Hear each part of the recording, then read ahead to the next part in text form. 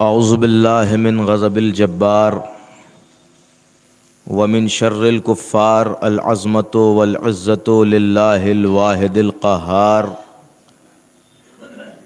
वमिन शैतानरजीम बसमिल्लाहिर्रहमानिर्रहीम अल्हम्दुलिल्लाह खालिक़िल वसातिल बिलाद व मुसीलिल वहाद व मुग़ज़बिन निजाद लईसाल अव्वलियत ही इब्तदा वलाल अज़लियत ही इनक़ा हुअल अव्वलो वलम यज़ल वल बाक़ियो बिला अजल। खर्रत लहुल जबाह व वहदत हुशिफ़ा अस्सलातो वस्सलाम व तहैयत वल इकराम अलनबील उम्मील मक्कील मदनील क़रशील अबतहील हाशमील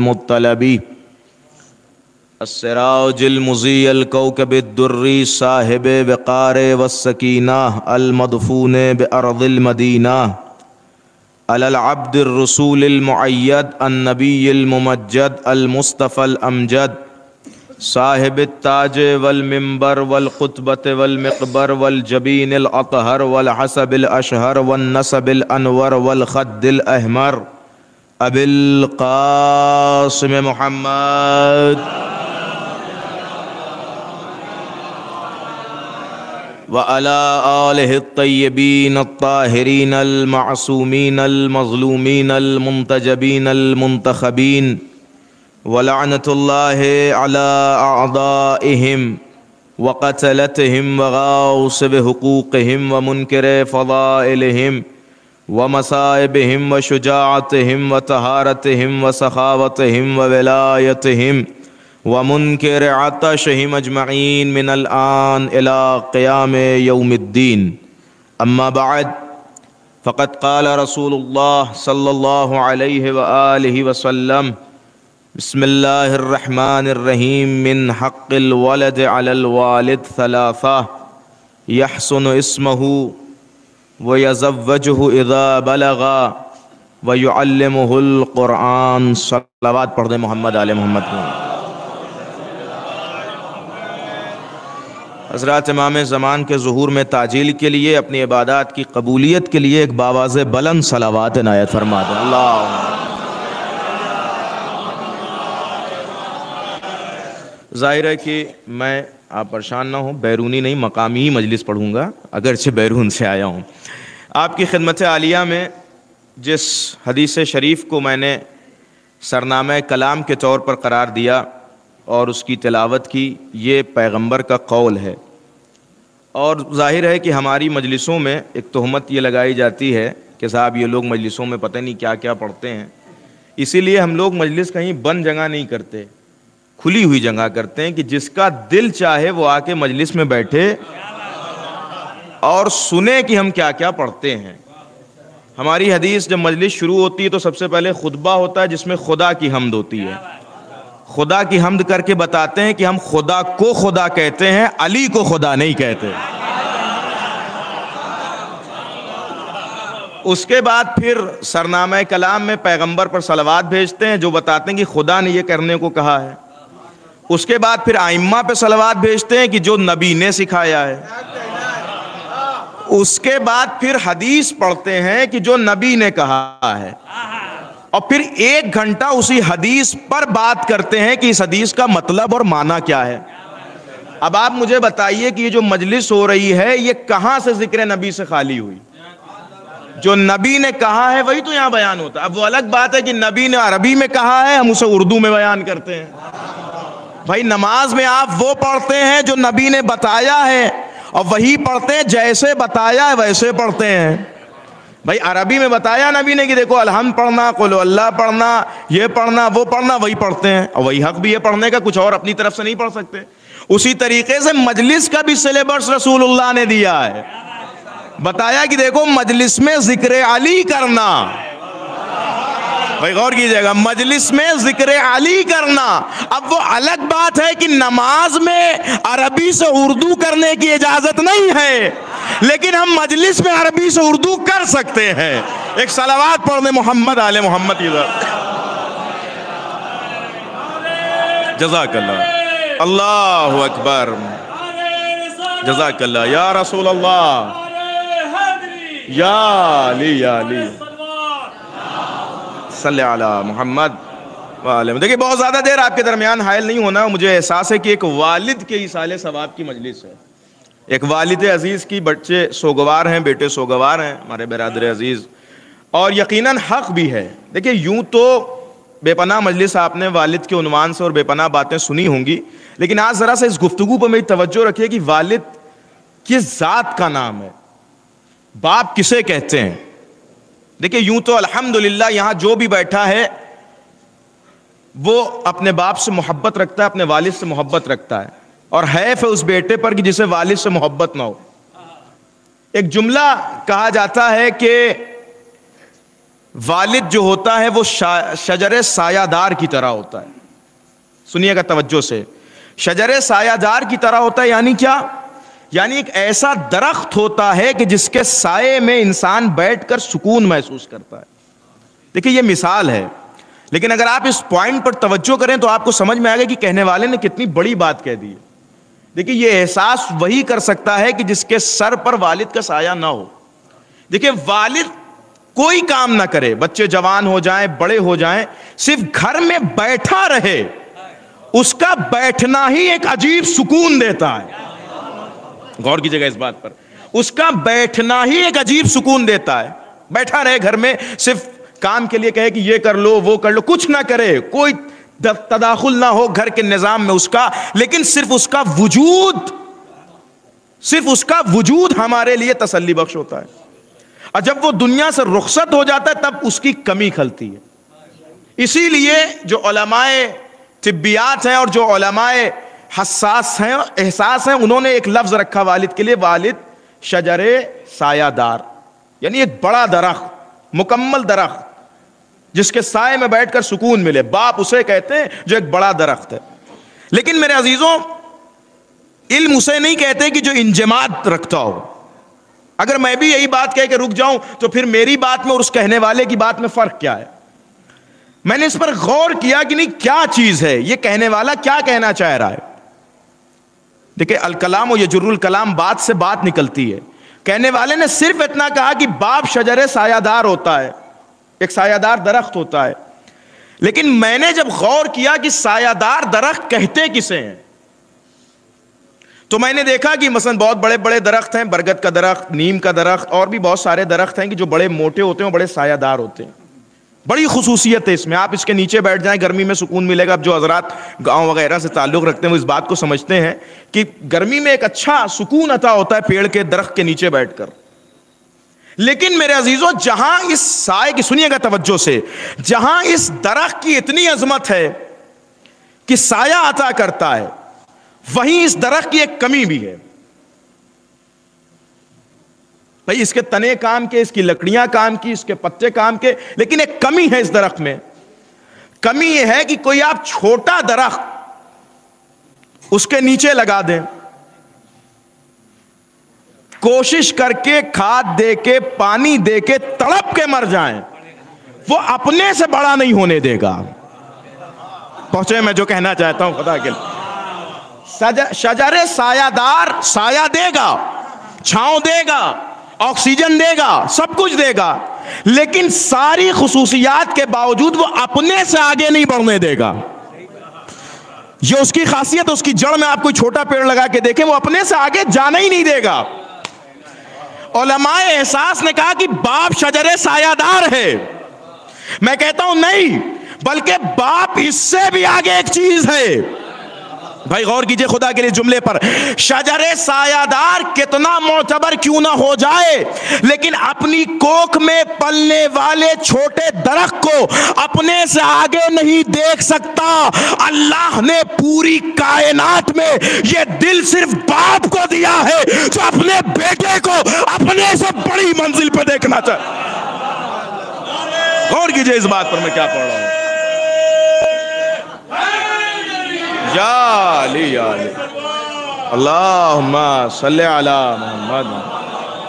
गौर कीजिए इस बात पर मेरे अज़ीज़। इस बाप को सिर्फ़ बिल्कुल उस्ताद, एहसासी बाप है, रूहानी बाप है, लेकिन उस्ताद में भी ये दिल नहीं है। बिल्कुल बता रहा हूँ मैं तजुर्बा है अगर से उम्र मेरी कम है, लेकिन इस फ़ील्ड से बहुत ज़्यादा मेरा ताल्लुक रहा है। बहुत बचपन से मैं दरस तदरीस में रहा हूँ। उस्ताद भी बिल्कुल आपके साथ शफकत करेगा, मोहब्बत करेगा, लेकिन एक मंजिल पर उसे एहसास हो ही जाएगा कि ये मेरा शागिर्द है। ये इतना आगे चला गया, लेकिन है मेरा शागिर्द। आप जाके उस्ताद से तारीफ़ करें कह रहे साहब, वो क्या कहना, ये वो, फला मंजिलत पे है वो, लेकिन आखिर में वो कह देगा, कुछ भी हो, है मेरा शागिर्द। यानी उस्ताद, उसे खुशी होती है कि शागिर्द मेरा आगे बढ़े, लेकिन कहीं ना कहीं दिल में एक बात होती कि मेरा शागिर्द है। यानी एक मंजिल पे आके उस्ताद भी रुक जा रहा है।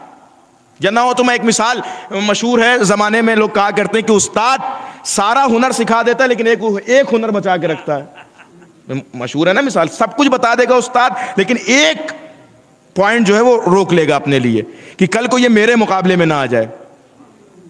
मशहूर है ये उस्ताद के बारे में। इसका मतलब ये एक पॉइंट रोक क्यों रहा है? रोक इसलिए रहा है कि इसको, इसके पास दिल है। ये हुनर सिखा रहा है, लेकिन एक मरहले पे इसके दिल में भी कहीं ना कहीं ये आ रहा है कि ये मेरा शागिर्द है, मैं इसे बना रहा हूँ।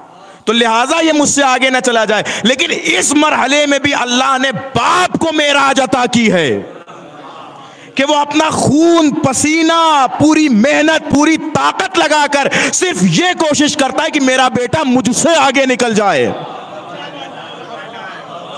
मेरा बेटा मुझसे आगे निकल जाए। यह बाप की कोशिश होती है, बाप की मेहनत होती है। और अल्लाह अगर बाप के दिल में यह देता ही नहीं, अगर यह खसूसियत यह सिफत अल्लाह अगर बाप के दिल में ना रखता तो कभी भी इंसान तरक्की के मराहल को तय नहीं कर सकता था। देखिए, बाप, अब वो अलग मसला है कि कौन कितनी मेहनत करता है, कौन क्या करता है, वो एक अलग मसला है। लेकिन बाप के दिल की तमन्ना देखिए, एहसासी मराहल में अगर आप गुफ्तगु करें, देखिए, प्रैक्टिकली क्या है, वो एक अलग मरहला होता है। प्रैक्टिकल में बहुत लोग कामयाब नहीं हो पाते वो एक अलग चीज़ है।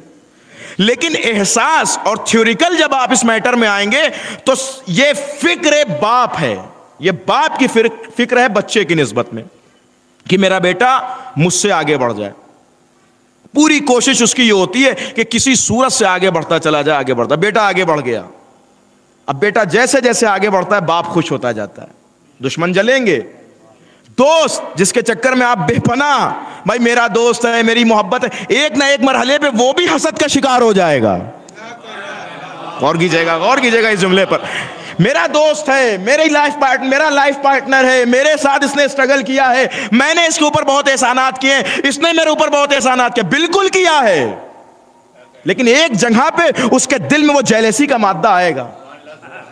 वो हसद पनपेगी कि ये मेरे साथ का इतना आगे कैसे निकल गया? और कीजिए, भाई, ये तो सामने की बात है कोई सदलाली बात नहीं है। होता है, बिल्कुल सामने की बात है। भाई, बहुत सारे देखिए, ये बात मैं बुज़ुर्गों से माजरत के साथ कहता हूँ ना यही कहता ना, अरे साहब, मेरे सामने का बच्चा इतने आगे कैसे निकल गया? तो देखिए, इल्म उम्र का मोहताज तो है नहीं।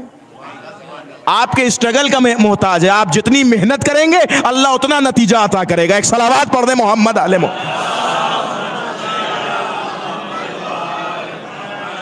लेकिन बाप है जो हर लम्हे चाहता है कि आगे बढ़े। हर लम्हे चाहता है कि मेरा बेटा आगे बढ़े आगे बढ़े आगे बढ़े। लेकिन मेरे अजीजों, ये बात याद रखिए, जो मैंने हदीस आपकी खिदमत में अर्ज़ की, ये हदीस एक अहम रुकन की तरफ़ इशारा करा रही है। देखिए, एक बात याद रखिएगा ये जो हदीसें होती हैं पैगंबर की, जिसमें हदीस में पैगंबर कहते हैं, ये करना है, वो करना है, ऐसे करो, वैसे करो, ये आम बातें नहीं होती हैं। ये इसलिए होती है कि इस प्रॉपर की इस शख्स की जिसके लिए ये कहा जा रहा है, उसकी अजमत कितनी है? क्योंकि जो जितना बड़ा होता है, उसकी ज़िम्मेदारी भी उतनी बड़ी होती है। देखिए, हदीसों में आप गौर कीजिए, मैं पूरी ज़िम्मेदारी से अर्ज़ कर रहा हूँ कि जितनी ज़्यादा ताकीद माँ बाप की दुआ लेने के लिए की गई है। भाई, क्यों? और किसी की दुआ के लिए नहीं है। रिवायत में आया, बहन की दुआ लो, बीवी से दुआ करने के लिए कहो, दोस्त से दुआ करने के लिए कहो, पड़ोसी से दुआ करने के लिए, ये सारी चीज़ें हैं।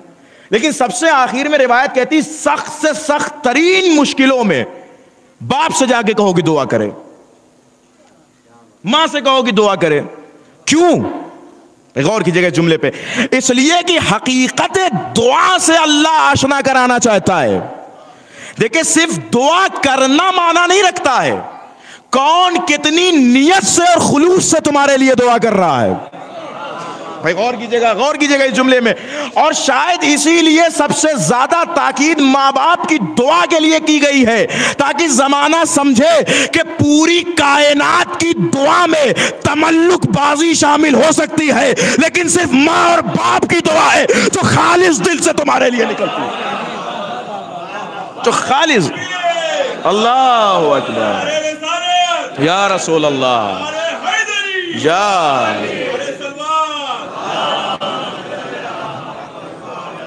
सिर्फ़ माँ और बाप की दुआ। हम बहुत अजीम चीज़ गुम कर चुके हैं।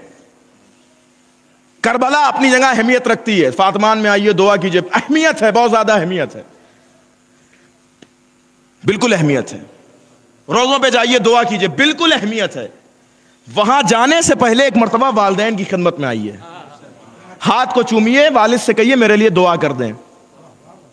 ना हो तो वालिद को लेके फातमान में आइए, जाके कहिए कि मेरे लिए दुआ कर दें। देखिए, ये एक अलग बात है, ये एक अलग रूज है। और मैं ऐसे ही हवा में बातें नहीं कर रहा, कुरान साहब के लिए दलील दे रहा हूँ। कितनी असर रखती है बाप की दुआ। देखिए, अल्लाह बाप की दुआ को टाल ही नहीं सकता। अब समझ में आया कि वो जो बूढ़ा शख्स घर के कोने में बैठा था, कुछ नहीं कर सकता था। कुछ ना कर सकता दुआ तो कर सकता था। कहीं गौर कीजिएगा जरा इस जुमले पर। कुछ ना कर सकता दुआ तो कर सकता था। उसकी दुआ अर्श हिलाई, इलाही के पाँव को हिला देती है। बाप की दुआ, सुनिए ये छोटा सा वाक्य, बहुत तवज्जो के साथ सुनिएगा कि क्या अल्लाह ने अजमत रखी है बाप की दुआ में? बनी इसराइल का जमाना, हज़रत मूसा का जमाना। एक शख्स है, स्ट्रगल की उसने मेहनत किया, एक अजीम मरतबे पे पहुँच गया। होता है कभी कभी बेटा स्ट्रगल करके बाप से ज़्यादा जो मसलन साथ में जो ज़िंदगी नहीं बसर करते हैं अलग अलग होते हैं तो बेटे ने स्ट्रगल किया, मेहनत किया आगे निकल गया, बहुत ज़बरदस्त। लेकिन बाप इत्तेफाक से फ़क्र फाके का शिकार। उस बेटे ने कहा कि नहीं, मैं ज़रा चलूँ, बाप की खैरियत और आफियत दरियाफ्त करूँ, पहुँचा बाप के पास। तो देखा कि नहीं, वालिद की जो हालात हैं, वो नागुफ्ता बे हैं। सुनिएगा बहुत तवज्जो से। नागुफ्ता बे हैं। तो अब तरीका कैसे बाप, देखिए, इसीलिए क्या क्या तरीके शरीयत ने बताए हैं। हमारे अंदर वो हुनर नहीं आता, हम कमाने लगते हैं, समझते हैं, बस अब घर के मालिक और रब हम हो गए हैं। तुम्हें पता नहीं कि तुम्हारी रिस्क की बरकतें अभी भी किसी की दुआओं के असीर हैं। और कीजिए इस जुमले पर, तुम्हारी रिस्क की बरकतें किसी की दुआओं की असीर हैं। इसीलिए हम लोग जब, अल्हम्दुलिल्लाह की जो जवान है, कमा रहे हैं, एक हुनर बताता हूँ। इमाम से पूछा गया किसी ने कि, मौला, अब देखिए ऐसे ऐसे अफराद भी होते हैं। मौला, मैं कमाता हूँ, मुझे अपने वालिद को पैसा देने में शर्म आती है। शर्म महसूस होती है मुझे कि मैं बाप के हाथ में जाके पैसा दूँ। वाकई शर्म आनी चाहिए। अगर बेटा बातरबियत है तो इस बात को महसूस करेगा। ठीक है, तुम कमाने लगे, मोहब्बत से अपने बाप के हाथ में रख रहे हो, लेकिन यही, ये हाथ इस बाप के हाथ के ऊपर तो आ रहा है। कहता मुझे शर्म आती है कि मैं अपने वालिद को ऐसे पैसा दूँ। इमाम ने कहा, किसने कहा तुझे ऐसे पैसा देने के लिए? किसने कहा?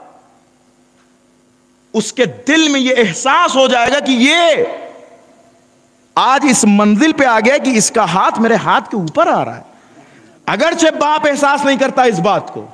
लेकिन शरीयत ने इस चीज़ का एहतराम रखा कि अगर तुम्हें अपने वालिद के लिए पैसा, पैसे का इंतज़ाम करना, उसे देना है पैसा तो कभी भी डायरेक्ट ना देना। क्या करना? का ऐसी जगह रख दो जहाँ से उसके हाथ तक पहुँच जाए। जैसे ओलमा मिसाल देते हैं कि बाप का कुर्ता टंगा हुआ, आप जेब में डाल दीजिए। बाप की तकिया के नीचे पैसा रख दीजिए। ताकि वो ऐसा क्यों, शरीयत क्यों ऐसा हुक्म दे रही है? इसलिए दे रही कि जब बाप तुम्हारे हाथ से वो पैसा ले तो कहीं उसे शर्मिंदगी का एहसास ना हो। यानी शरीयत नहीं चाहती कि एक लम्हे के लिए भी बाप शर्मिंदा और इसकी बरकत है मेरे अजीजों, बरकत है, सुनिएगा। अब वो कैसे कहे बाप से कि आपकी हालत सही नहीं, आप मेरे साथ चल के रहिए। क्या उसने अल्फाज इस्तेमाल किए उस जवान ने सुनिएगा, वो कहता है कि बाबा, ये दुनिया, ये कारोबार, ये बिज़नेस ये सब आपने अकेले मुझ पर छोड़ दिया है। मैं अभी जवान हूँ, ना तजुर्बा हूँ, बेतजुर्बा हूँ। मैं क्या करूँगा? ये तो आप जफा कर रहे हैं मेरे साथ। आपको चाहिए कि मेरी मदद फरमाए। लहजा देखिए उसके कहने का अंदाज देखिए। भाई वो ये भी तो कह सकता था कि नहीं, आपकी हालत यहाँ सही नहीं, कल से आप मेरे साथ रहेंगे। लेकिन इस लहजे में और इस लहजे में कितना फ़र्क है? वहाँ अपने आप को अमीर बन के ये कहा जाता था, लेकिन यहाँ शरीयत बताना चाहती है कि तुम कितने भी बड़े हो जाओ, बाप की निगाह में गुलामी हो तुम। आप चलिए मेरे साथ, मैं ना तजुर्बा हूँ, बेतजुर्बा हूँ, मेरी कोई हैसियत नहीं है। अगर आप नहीं रहेंगे तो फिर मैं कैसे अपने बिज़नेस में आगे बढ़ पाऊँगा? खैर, बाप राज़ी हो गया, बाप को लेके वो अपनी दुकान पे आ गए। जवान है बनी इसराइल। इतना खूबसूरत वाकया ये कुरान को पसंद आया कि कुरान ने इस वाकये को आयतों में जगह दी है, आयतों में। मैं अभी आयत भी पढ़ूँगा आपकी खिदमत में। आ गया लेके। दुकान पे बाप बैठा हुआ है, चल रही है अपनी ज़बरदस्त स्टोर उसका ज़बरदस्त दुकान है। भाई बाप बूढ़ा हो गया है, थक गया है, थकान आ गई है। उसने एक दिन अपनी कोट निकाली और कोट की तकिया बना के दुकान पर सो गया। अब ये इत्तेफाक देखिए, खुदा को समझाना था कि बाप की दुआ की अहमियत क्या है। बाप सोया था कि एक बहुत बड़ा डीलर उसकी दुकान पर आ गया सामान खरीदने के लिए। फला किस्म का चावल है, तुम्हारे पास कहा है? क्या कितना है? क्या तुम्हें कितना चाहिए? अरे, कहा, मुझे बहुत ज़्यादा चाहिए। कहा, उससे भी ज़्यादा है जितना तुम सोच रहे हो। मतलब मिसाल के तौर पर मुझे 200 300 किलो चाहिए। कहा, उससे भी ज़्यादा है। ठीक है, तय हो गया, वो डीलिंग हो गई पूरी और कागज़ साइन हो गया, वो पैसा वैसा लेके इधर आया वो। कहा कि चावल का कल ले जाना। कल नहीं, मुझे अभी चाहिए। तुमने मुझसे पैसा लिया मेरी, तुमने कहा, मुझे अभी चावल चाहिए। उस बेटे ने, उस लड़के ने, उस दुकान वाले ने कहा, नहीं, आज नहीं, कल कल दूँगा मैं। कहा, क्यों? तुम तो कह रहे थे मेरे पास चावल मौजूद है, रखा हुआ है। कहा हाँ चावल है। तो कहा अपने इन काम करने वालों से कहो कि निकालें चावल और मुझे दे, मैं ले जाऊँ? कहा, नहीं, निकाल नहीं सकते। कहा, क्यों? कहा, इसलिए कि अंबार में है। अंबार में? तो अंबार से कौन निकाल दे? कहा, नहीं, अंबार में ताला बंद है। ताला बंद है तो क्या हुआ? ताला खोल के वो चावल निकाल लिया जाए। कहा, नहीं, उस ताले की चाबी मेरे वालिद के जेब में है। मेरे वालिद के जेब में है। तो कहा, क्या मसाला है? दो मिनट के लिए जगा के तुम उनसे चाबी नहीं कहा, नहीं, मेरा बाप अभी थक के सोया है। अगर लेना है तो लो, नहीं तो जाओ। उसने कहा, नहीं, मुझे अभी चाहिए। कहा, नहीं, मैं अभी नहीं दे सकता। डील कैंसिल फ़ौरन कैंसिल कले जाओ। उसने उसका पैसा वापस किया कहा जाओ। वो ग्राहक, वो कस्टमर वापस। थोड़ी देर बाद बाप की आँख खुली, बेटे को बुलाया। मैं सो गया था, इतनी देर में कोई मामला हुआ या नहीं हुआ? बेटे कहा कहा नहीं झूठ तो बोल नहीं सकता। कहा नहीं, वो किस्मत नहीं हुई कह के खामोश हो गया। लेकिन बाप कुछ समझ रहा है शायद। बाप ने कहा, क्यों नहीं हुआ? क्या कोई कस्टमर आया नहीं? कोई ग्राहक आया नहीं? कहा, नहीं, वो आया था मगर वो मामला सेट नहीं हो पाया। बेटा बताना नहीं चाह रहा है बाप को। लेकिन बाप है कि वो इसरार। कहा, नहीं, ऐसा कैसे हो सकता है कि कोई आया नहीं और ये नहीं? कुछ तो हुआ होगा।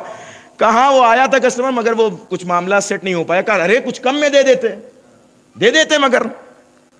कहा, नहीं, वो कम में भी नहीं माना वो। कहा, ऐसे कैसे हो सकता है? आखिरकार बेटे को बताना पड़ा कि हुआ ये था कि सब हो गया था, लेकिन वो चाबी जो है बाप गुस्से में अहमक मुझे उठा देते, नुकसान हो गया। बाप तो बाप है।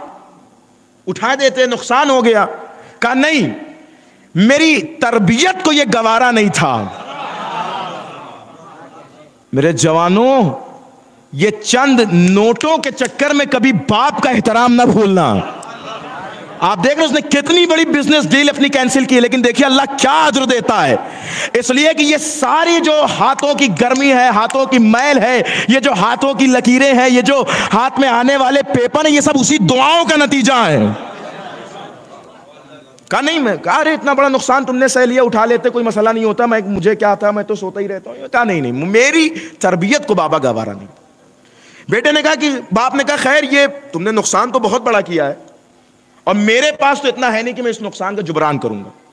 लेकिन हाँ, मैं एक काम ज़रूर करूँगा। मेरे पास एक गाय है, मैं वो तुम्हें दूँगा। और इस गाय के साथ साथ एक दुआ तुम्हें दूँगा।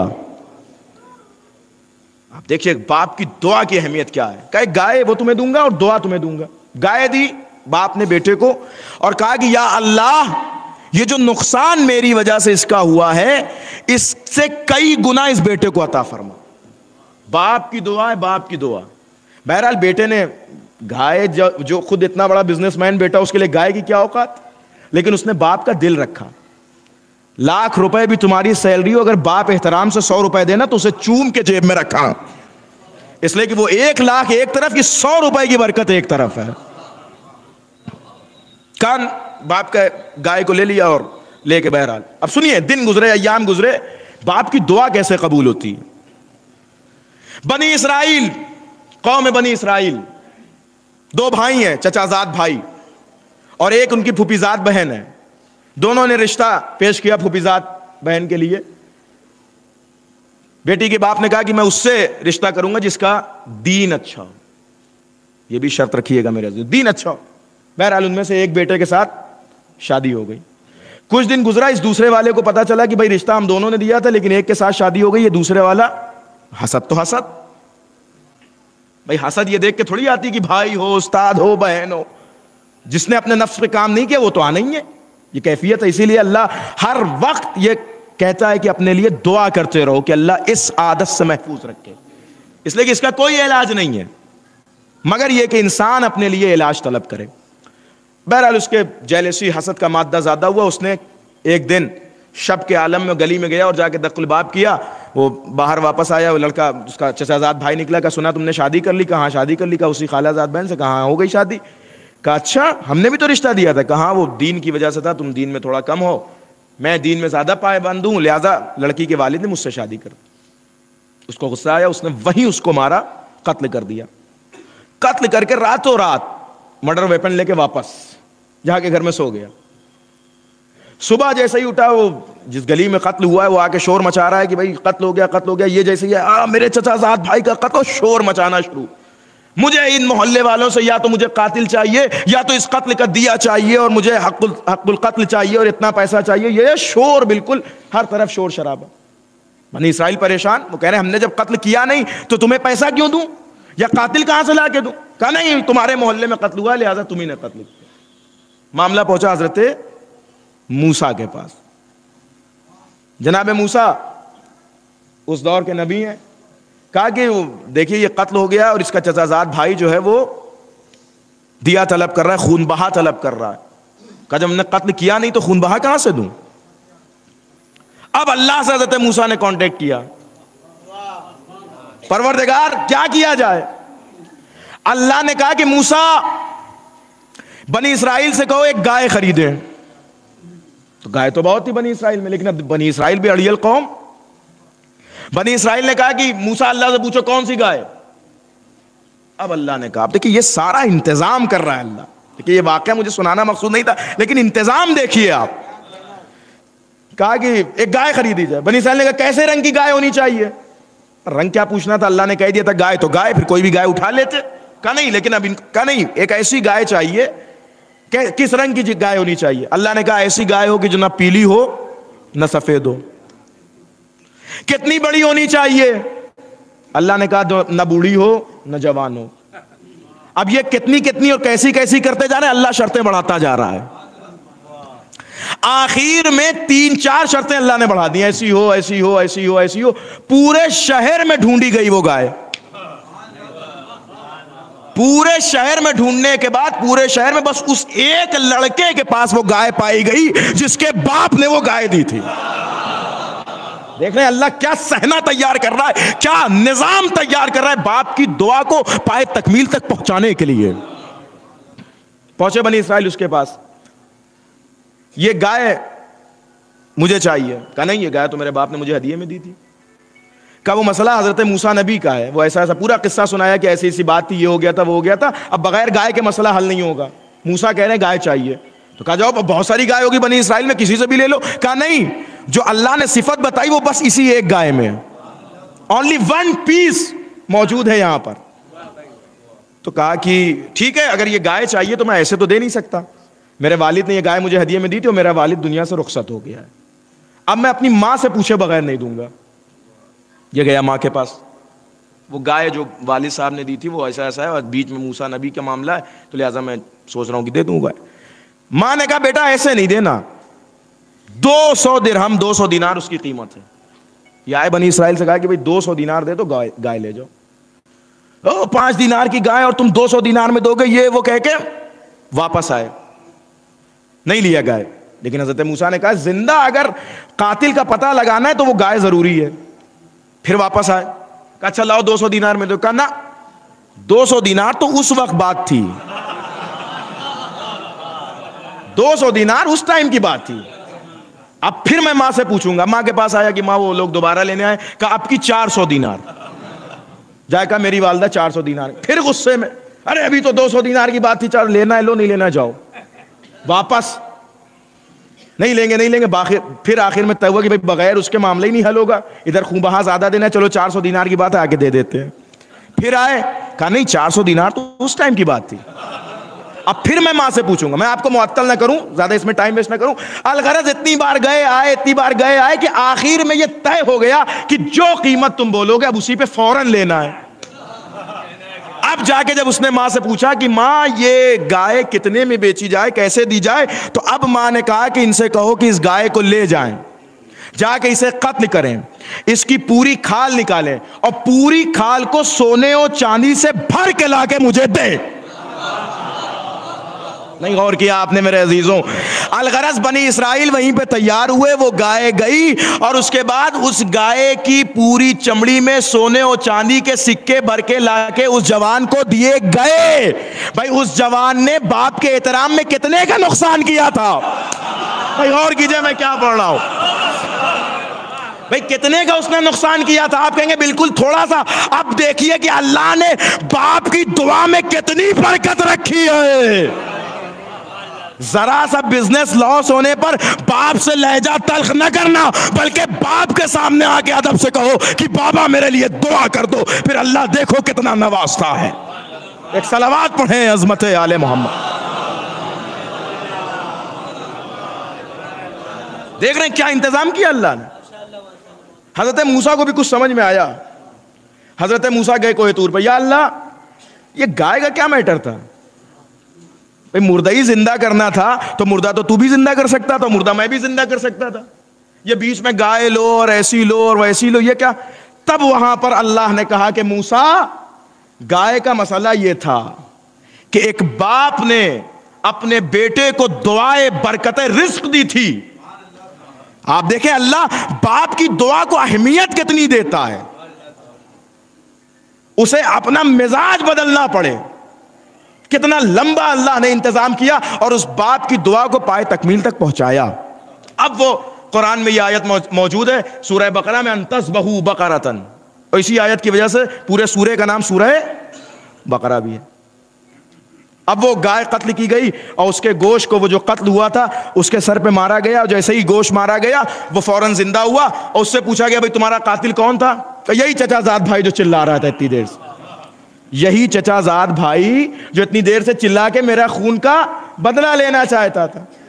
देखिए, बात तो वाकया तो तमाम हो गया, लेकिन एक जुमला कहने का दिल ज़रूर चाहता है। गाय के गोश की ठोकर लगने से मुर्दा कैसे ज़िंदा हुआ? गौर कर रहे हैं आप मेरे अजीजों? भाई, कुरान है, कुरान ये मेरा बयान तो है नहीं जिसपे आप कहते हैं कि साहब ये कैसे हो सकता है? वो कुरान में लिखा है कि वो गाय के गोश की ठोकर मारी गई, मुर्दा ज़िंदा हो गया। आप कहेंगे, साहब, अल्लाह ने चाहा तो हुआ। तो जब अल्लाह एक गाय के गोश्त में इतनी कुवत दे सकता है कि उसके मस होने से मुर्दा ज़िंदा हो जाए तो अगर जम्बुल्ला किसी को ठोकर से ज़िंदा कर गौर कीजिए मैं क्या पढ़? एक सलावाद पर मोहम्मद आले मोहम्मद।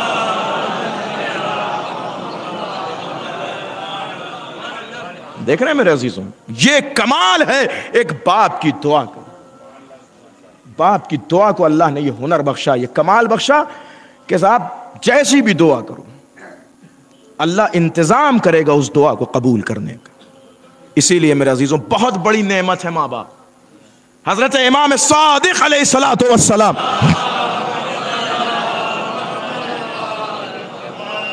बैठे हुए थे। इमाम का एक साहबी अपने वालिद के साथ, अपने बेटे के साथ आया।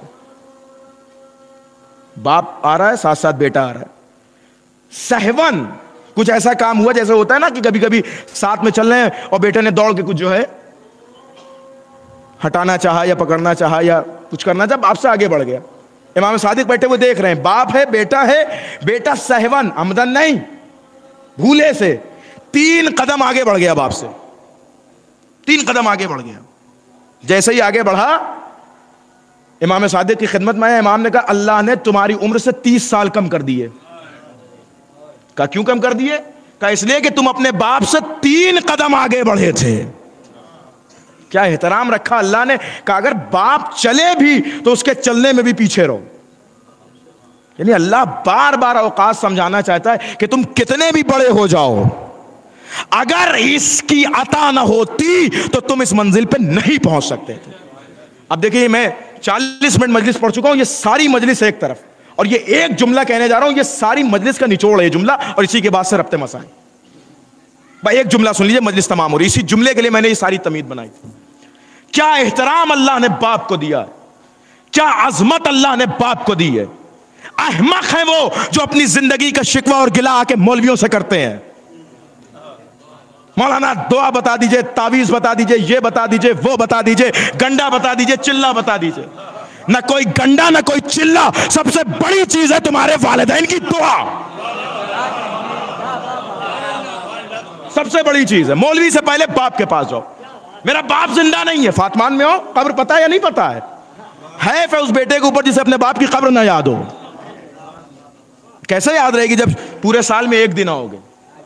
इमाम ने कहा, जुमे के दिन आके कब्रिस्तान का चक्कर लगाया करो। क्यों? ताकि पता चले कि यहाँ कौन है। इंतज़ार करते हैं यहाँ कब्र में लेटे हुए वालदेन कि मेरा बेटा कब आ रहा है। आओ, फिर इमाम कहते हैं, ये तरीका है कब्रिस्तान में आने का। बाप की कब्र पे बैठो, फातिहा पढ़ो, फिर उठो। फिर जाने लगो, फिर वापस आओ। फिर बैठो, फिर जाओ। दो तीन मरतबा करके फिर रुखसत हो।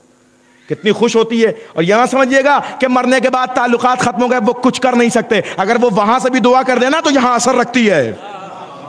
अब सुनिए वो एक जुमला जिसके लिए मैंने जहमत दी है। पता नहीं क्या हो गया है हमारा समाज, कहाँ पहुँच गए हम?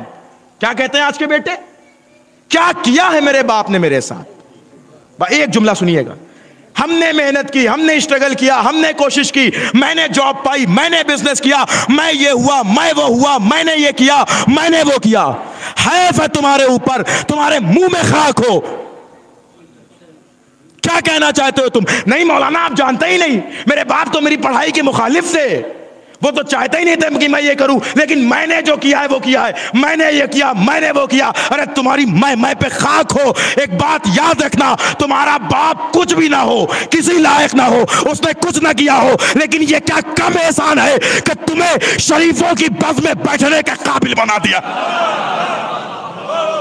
क्या कम एहसान है उसका? ये क्या कम एहसान है कि शरीफों की बस में बैठने के काबिल बना? ये क्या कम एहसान है कि शरीफों की बस में बैठ शरीफों की बस में ऐसा नहीं नसीब होती? जब बाप शरीफ होता है, तब बेटा शरीफों की बस में बैठ सकता है। शरीफों की बस में ऐसा नहीं नसीब होती हैं। ये बाप का एहसान होता है जो बेटा शरीफों की बस में आके बैठता है। यह है बाप का एहतराम। और इसीलिए बाप की ज़िम्मेदारी भी ज़्यादा है। जो हदीस मैंने पढ़ी थी, उसका तर्जुमा तो हद अकल करी दूँ। बाप का हक बयान किया रसूल ने फरमाया कि बाप इस अजमत पे, लेकिन बाप से बात नहीं है कि शादी की, बच्चे पैदा की, हो गया काम खत्म। ना, उस बेटे की आखिर तक ज़िम्मेदारी आपके ऊपर है। मैंने तो अपने बेटे को ट्यूशन टीचर के हवाले कर दिया है। माफ़ कीजिएगा, वो ट्यूशन टीचर का बेटा नहीं है, आपका बेटा है। मैंने तो अपने बेटे को स्कूल के हेडमास्टर के हवाले कर दिया। स्कूल का हेडमास्टर सिर्फ़ चार घंटे के लिए हेडमास्टर है। बेटा वो आपका है। उसके ऊपर आपकी नज़रें होनी चाहिए। मेरा बेटा तो मेरे दोस्तों के साथ अपने दोस्तों के साथ रहता है। हाँ, ठीक रहे कोई मसला नहीं दोस्त दोस्त होने चाहिए लेकिन दोस्तों पे नज़र आपकी होनी चाहिए। दोस्त बनाने में कोई मुश्किल नहीं है लेकिन चूँकि बेटा अभी उस तजुर्बे को उस मंजिल पे नहीं इसीलिए अल्लाह ने बाप के हुकूक रखे। का सबसे पहला बाप का हक ये बेटे के लिए कि युहसन इसम। कि बाप उसका अच्छा सा नाम रखे, ताकि उसे याद रहे कि यह नाम देने वाला भी मुझे मेरा बाप है। उसका नाम अच्छे से अच्छा रखे। उसके बाद क्या करे? जो अल्लमहुल कुरान। ये नबी ने फरमाया है, साइंस पढ़ाओ, डॉक्टर बनाओ, इंजीनियर बनाओ, जो बनाना है बनाओ, बिजनेसमैन बनाओ। लेकिन नबी क्या कहते हैं? जो अल्लमहुल कुरान। उसे कुरान ज़रूर सिखाओ। इसलिए कि अगर बाप कुरान सिखाएगा तो बेटा वसीम रुश्दी जैसा नहीं होगा। बचपन से इतना मज़बूत कर दीजिए कुरान में कि फिर उसे कुरान की आयतों में मुश्किल ना नज़र आए। पैगंबर की जात में मुश्किल ना नज़र आए। ये ये हक है हक है बाप का बेटे की नस्बत में। युल कुरान, उसे कुरान की तालीम दे। फिर क्या, छोड़ दे? अब तो बड़ा हो गया, अब अपनी लाइफ का मालिक है, अब जो दिल चाह ना!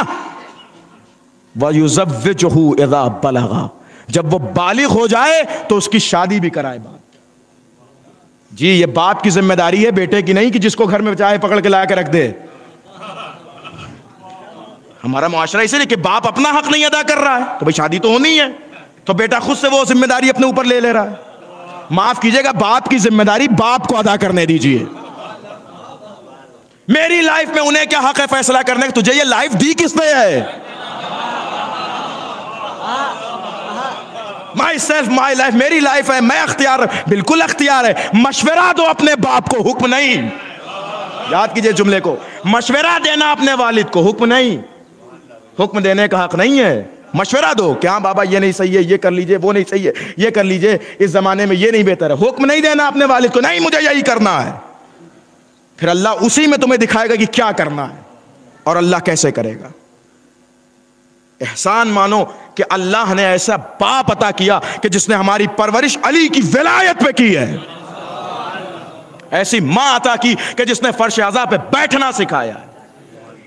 अब एक जुमला कह दूँ, मेरा दिल चाह रहा है, नहीं तो मजलिस तमाम करना चाहता था कि क्या एहसान है, अल्लाह ने क्या हुक्म रखा, नबी ने क्या कहा कि बाप अपने बेटे का अच्छा नाम रखे। मसला यह है कि बाप नाम रखने के लिए भी इल्म होना चाहिए ना। हमको तो खुद ही नहीं पता, हम तो खुद ही इस चक्कर में होते हैं कि ऐसा नाम रखा जाए जो मोहल्ले में हटके हो। और कुछ लोग जब ज़्यादा ही एडवांस बनते हैं तो ऐसा नाम रखिए कि जो दुनिया में किसी का ना हो। तो किबला माफ़ कीजिएगा, वो आले मोहम्मद का घराना था कि जिनके नाम आसमान से आते थे। भाई, क्या सुन रहे हैं वो आले मोहम्मद, आपके नाम हम आसमान से नहीं आएँगे, आपको यहीं से नाम रखना है। अब वही नाम रखना है जो अल्लाह और अहले बैत ने बताए हैं। बेहतरीन नाम रखो। देखिए, माशाल्लाह, हमारे यहाँ जो नाम होता है, वो वाकई हमारे वालिद की मेहनतों और उनके इल्म और देखिए, नाम भी आजकल बता देता है कि इसके वालिद के इल्म किस अहमियत पर है। इसकी नॉलेज कहाँ तक है? नाम फैसला करता है कि किसकी नॉलेज कितनी है। अब क्या कहने? मुझे इसी तारीख आखिरी जुमला फजाइल का, इसी तारीख में एक ऐसा बाप भी नज़र आ रहा है। कि जिस आलम जहालत में लोग बिल्ली, बंदर, कुत्ते और न जाने किस किस नजिस जानवरों के नाम पे नाम रखते थे, उस दौरे जहालत में उसने अपने बड़े बेटे का नाम तालिब रखा। हाय हाय हाय। दूसरे बेटे का नाम अकील रखा। तीसरे बेटे का नाम जाफ़र रखा। और चौथे बेटे का नाम अली रखा। दिल चाहता है कि सलाम करें ऐसे बाप की अजमत को। भाई, अभी इस्लाम नहीं आया है। इस्लाम कब आएगा? जब पैगंबर हो। चलिए मान लिया, अली नाम आसमान से आया है।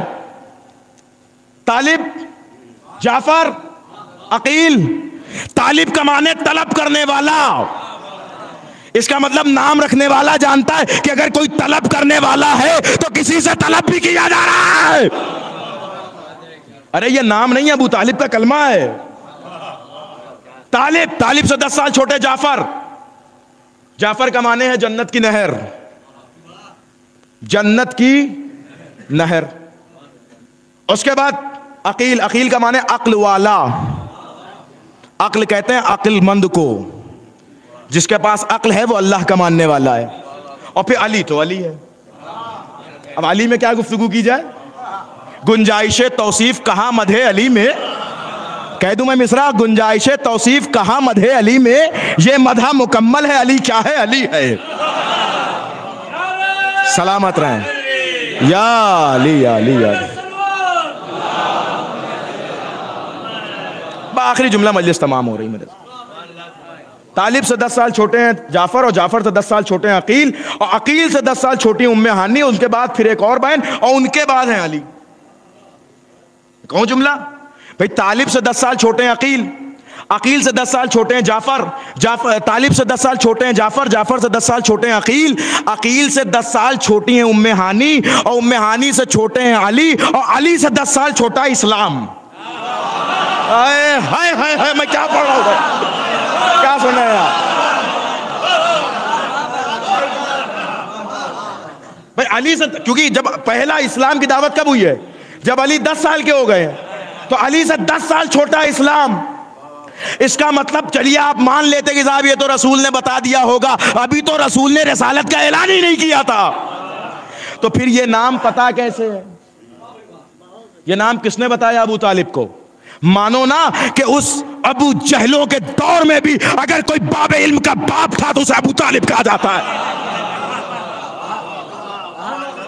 नाम देखिए। तालिब अकील, जाफ़र जाफ़र यानी जन्नत की नहर, जन्नत की नहर। भाई, एक आदमी हिंदुस्तान आया ना हो, हिंदुस्तान से कोई उसके पास गया ना हो, उसे क्या पता चले कि गंगा क्या है, जमुना क्या है, सरस्वती क्या है, संगम क्या है। जब उसे कोई बताएगा तब ना, भाई, जाफ़र जन्नत में एक नहर का नाम है। अभी तो नबी ने जन्नत की खबरें सुनाई नहीं। अरे हाय हाय, भाई गौर कीजिए मैं क्या पढ़ रहा हूँ। अभी तो नबी ने जन्नत की खबरें सुनाई नहीं, जन्नत के जुजियात बताए नहीं, जन्नत की बातें सुनाई नहीं तो फिर अबू तालिब को कैसे पता कि जन्नत की नहर का नाम जाफ़र है? भाई एक जुमला कहूँ तो फिर मानो ना कि अबू तालिब को पता था कि जन्नत में एक नहर का नाम जाफ़र है, और अगर ये नहीं हजम होता तो फिर ये खा वही अल्लाह ने जन्नत में नहर का नाम रख दिया। हाय हाय हाय तो मानो ये बात मानो भाई, ये मानो। या तो ये मानो या ये मानो। ये है बाप का एहतराम, ये है बाप का कमाल। नाम बताएगा कि बाप इल्म की किस मंजिल पर है। और करबला तो सजी हुई है बाप और बेटे के रिश्ते से। करबला से ज़्यादा वाज रिश्ता कहाँ नज़र आता है बाप और बेटे का? करबला बताती है कि बाप किसका नाम है और बेटा किसका नाम है? बेटे का एहतराम किया? अरे मजाल है जो अली अकबर बाप के साय से हट जाए। तारीख लिखती है कि उमर साद ने शब के वक्त में हुसैन को बुलाया, मौला हुसैन को। कहे फरजंद जहरा, हम आपसे कुछ बात करना चाहते हैं। लेकिन मैं भी अकेले आऊँगा। आपको भी अकेले आना है। ना मेरे साथ कोई होगा, ना आपके साथ कोई होगा। तारीख लिखती हुसैन बगैर किसी से बताए हुए शब के सन्नाटे में खेमे से निकले। पीछे दबे पाँव किसी के आने की आवाज़ महसूस हुई। थोड़ी देर बाद हुसैन ने पलट के देखा, कोई नज़र नहीं आया। फिर हुसैन आगे बढ़े। फिर पलट के देखा, फिर कोई नज़र नहीं आया। थोड़ी देर के बाद हुसैन ने कहा, अली अकबर, आ जाओ। यानी बेटे के कदमों की आहट को पहचानते हैं हुसैन। काली अकबर, आ जाओ। जनाब अली अकबर आ गए कहा, बेटा, ये तो वादा खिलाफी हो जाएगी ना। उसने मुझसे कहा है हुसैन, अकेले आना है। बेटा, तुम क्यों आ गए? बाबा, मेरा दिल नहीं चाहता कि मैं आपको ऐसे अंधेरे में अकेला छोड़ू। नहीं, मेरे लाल वापस चले जाओ। वापस चले जाओ मेरे लाल। ये बात सही नहीं है, इसलिए कि उसने मुझसे कहा अकेले आना है। मैंने इसीलिए किसी से बताया नहीं था, लेकिन अब तुम आ गए हो तो मैं कह रहा हूँ, वापस चले जाओ। अभी अली अकबर कुछ कहना चाहते थे कि सामने से उम्र साद आ रहा था। अली अकबर मुस्कुराने लगे, बाबा, उम्र साद भी अपने बेटे के साथ आ रहा है, मुझे साथ लेके चलो। थोड़ी देर बाद देखा तो पीछे से जनाब अब्बास भी आ रहा है। अब्बास, तुम कैसे आ गए? जुमला सुनिएगा तड़प के मर जाने का दिल चाहता है इस जुमले पर। जनाब अब्बास ने कहा, आका, अरे आप देखिए उसके साथ, उसके पीछे पीछे उसका गुलाम मौजूद है। आका, मैं भी तो आपका गुलाम। अल्लाह अकबर, अल्लाह ये राबता है बाप और बेटे का। और फिर हुसैन क्या कहते हैं, जब बेटा दम तोड़ा है, या बुनैया, दुनिया बादकल अफा। अरे मेरे लाल, तेरे पास जिंदगानी दुनिया पे खाक है। इस जुमले का उलमा ने जब तर्जुमा किया और तफसीर की, का ये जुमला बताता है कि अली अकबर के बाद हुसैन के जीने की तमन्ना खत्म हो गई थी। अल्लाह, मेरे, तेरे बाद जिंदगानी दुनिया पे खाक है। तारीख लिखती, ये करबला के बाप और बेटे का किरदार है। क्या मजमा जमा हुआ है मरहूम के रस्म चहलुम में? बेटों को बड़ी तसल्ली हो रही होगी। कि मेरे वालिद के रस्म चहलू में इतने लोग आ गए। आया कीजिए ऐसी मजलिसों में। हमें अल्लाह ने दिल गम बांटने के लिए दिया है, गम देने के लिए नहीं दिया है। जब हम आते हैं यहाँ पर तो यकीनन मरहूमिन के पसमंदगान को बड़ी खुशी होती है कि कोई आया तो। किसी ने अपना समझा तो किसी ने गले लगाया तो लेकिन हाय गुर्बत करबला तदफीन में भी लोग मौजूद थे सेम में रहे होंगे, यहाँ मौजूद है।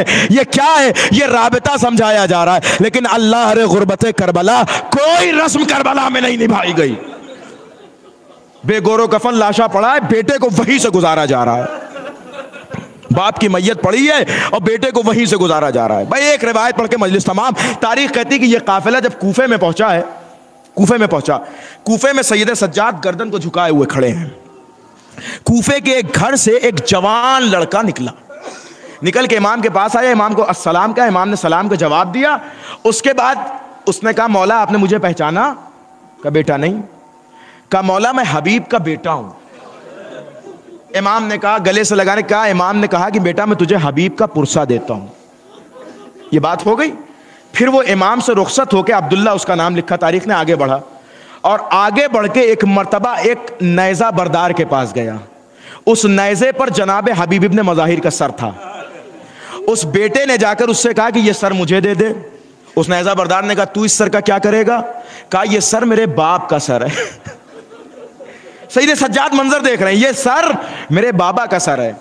तुझे पैसा चाहिए, इनाम चाहिए, मैं तुझे पैसा देने के लिए तैयार हूँ, लेकिन ये सर को नेजे पे बुलंद ना कर। उसने कहा, नहीं, मैं ये सर तुझे नहीं दूँगा। क्यों?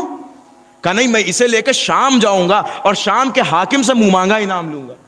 थोड़ी देर बेटे में और उस शख्स में बात हुई, नहीं, दे दे, वो कहता है, नहीं दूँगा। उसके बाद बेटे को गुस्सा आ गया।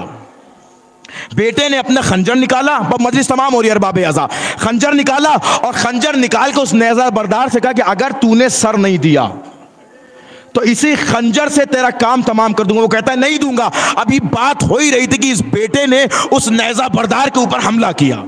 हबीब के बेटे ने उस नहजा बरदार का काम तमाम किया, उससे नहजा लिया, नहजे से बाप के सर को जुदा किया और ये कहता हुआ घर की तरफ़ बढ़ा कि जिसका जवान बेटा मौजूद हो, उसके बाप का सर नौके नहजा पे नहीं होता।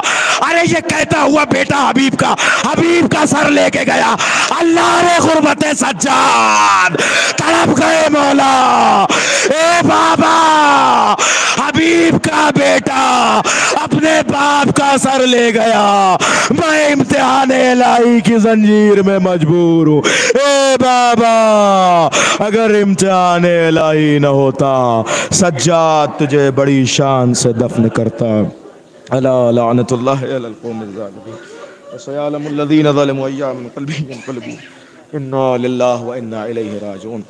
गुजारिश आप हजरा से कि एक मरतबा सूर्य अलहमद और तीन मरतबा सूर्य अखलास की तलात फरमा कर मरहूम डॉक्टर जवार हुसैन साहब की रूह को इसाल फरमा